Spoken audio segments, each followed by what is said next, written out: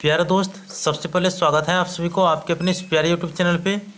आज की इस वीडियो में बताने वाला हूँ बिहार बोर्ड कक्षा दसवीं के नन हिंदी का पहला चैप्टर, जिनका नाम है, तू ज़िंदा है तो ज़िंदगी के जीत पर यकीन कर।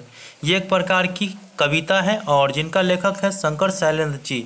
इस पार्ट से कुछ ऑब्जेक्टिव व सब्जेक्टिव क्वेश्चन बताऊँगा, जो बिहार बोर्ड के स्टूडेंट के लिए अधिक लाभदायक साबित होंगे।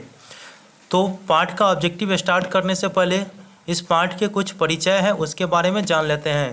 तो यहाँ पे देखिए, कविता के परिचय जानते हैं। तो सबसे पहले प्रस्तुत कविता, तू ज़िंदा है तो ज़िंदगी के जीत पर यकीन कर, गहरे जीवन, राग और उत्साह को प्रकट करती है। इस जीवन राग में अतीत के दुखदायी पलों को भूलकर, आशा और जीत की नई दुनिया का स्वागत करने की प्रेरणा है। अतः कवि ने हमें संदेश दिया है कि जीवन में सुख, दुख आते ही रहते हैं, इसीलिए सुख, दुख से परे हमें एक ऐसा संसार या जीवन का निर्माण करना चाहिए, जिससे अनंत सुख की संभावना विद्यमान हो और यह तभी संभव है जब तक कर्म ज़िंदा है।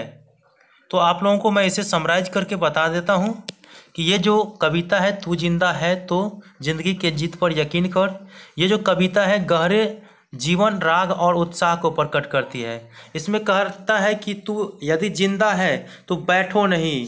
वो हाथ जोड़कर बैठना नहीं है तुमको। ज़िंदा है तो ज़िंदगी के जीत पर यकीन कर। अगर तुम दुखी हो, तुम गरीब हो तो अपने हाथ पैर चलाओ। बैठे नहीं रहो। तू अपने ज़िंदगी के जीत पर यकीन कर। तू एक न एक दिन सफल ज़रूर होगा। ये जो कविता है नई दुनिया में जीने की प्रेरणा देती है, इसीलिए कहा जाता है कि तू ज़िंदा है तो ज़िंदगी के जीत पर यकीन कर। तो चलिए अब इससे ऑब्जेक्टिव जो क्वेश्चन पूछे जाते हैं, उसमें मैं कुछ ही क्वेश्चन लेकर के आया हूँ। देखिए, कुछ क्वेश्चन कुछ इस प्रकार से हैं। पहला जो ऑब्जेक्टिव क्वेश्चन आप लोगों से पूछा जाएगा, तू ज़िंदा है तो ज़िंदगी के जीत पर यकीन कर के लेखक कौन है? ये आप लोगों को भली भांति पता होगा कि शंकर शैलेंद्र जी और किसी भी पार्ट को स्टार्ट करने से पहले क्या पार्ट है और पार्ट के लेखक कौन है, ये चीज़ जानकारी आप लोगों को होना चाहिए, क्योंकि इसी से 10 से 12 मार्क के ऑब्जेक्टिव क्वेश्चन पूछे जाते हैं। ये आप लोगों को भली भांति पता ही होगा। तो आप लोग पार्ट और पार्ट का लेखक के नाम ज़रूर याद रखें। उसके बाद दूसरा क्वेश्चन देखिए, कौन सी कविता गहरे जीवन राग और उत्साह को प्रकट करती है। तो ये कविता के परिचय में ही आप लोगों को बता दिया है कि तू ज़िंदा है तो। उसके बाद तीसरा क्वेश्चन है, किस कविता में अतीत के दुखदायी पलों को भूलकर आशा और जीत की नई दुनिया का स्वागत करने की प्रेरणा दी गई है? तो ये आप लोग को मैं पहले ही बताया कि इसमें जो है अतीत के दुखदायी पलों को भूलने की बात कर रही और जीत की नई दुनिया में स्वागत करने की प्रेरणा की बात की गई है। तो ये कविता जो है वो तू ज़िंदा है तो।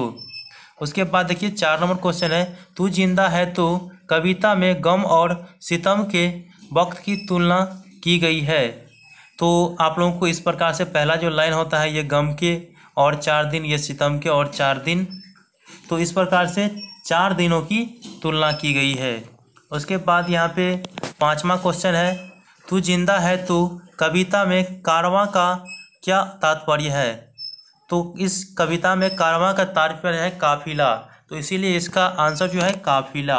तो काफिले, उसके बाद छः नंबर क्वेश्चन है, तू ज़िंदा है तो कविता किस समय को दर्शाता है? तो देखिए, ये आज़ादी के समय का काल को दर्शाता है। तो इसका आंसर, आज़ादी के समय के काल का। इसके बाद देखिए, यहाँ पे सातवां क्वेश्चन है, हमारे कारवां को किसका इंतज़ार है? तो हमारे कारवां को मंजिलों का इंतज़ार है। उसके बाद आठ नंबर क्वेश्चन है, सुबह और शाम के रंगे हुए गगन को चूम कर तू सुन ज़मीन गा रही है, कब से झूम झूम कर? पंक्ति कविता के लेखक कौन है? तो देखिए, इसमें पंक्ति कविता के लेखक भी पूछ सकता है या पंक्ति किस लेखक द्वारा लिखा गया है?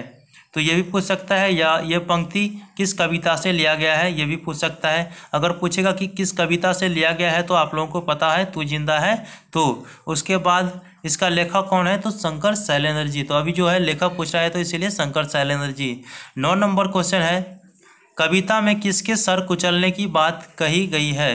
तो देखिए, मुसीबतों की सर कुचलने की बात कही गई है तो आपका आंसर हो जाएगा मुसीबतों की। उसके बाद दस नंबर क्वेश्चन, और ये लास्ट क्वेश्चन है बुरी है पेट की आग बुरे हैं दिल की दाग, पंक्ति के लेखक कौन है? तो देखिए, ये पंक्ति के लेखक शंकर शैलेंद्र जी है, और कविता के लास्ट पंक्ति है ये तो इसका आंसर हो जाएगा शंकर शैलेंद्र जी। तो इस प्रकार से हमने आप लोगों के बीच ऑब्जेक्टिव क्वेश्चन बताया। अगर आपको इस प्रकार से अगर सब्जेक्टिव क्वेश्चन पूछा जाए, कुछ भी सब्जेक्टिव क्वेश्चन तो आप इस प्रकार से कविता का जो परिचय है, उसको आप लिख सकते हैं सब्जेक्टिव क्वेश्चन में।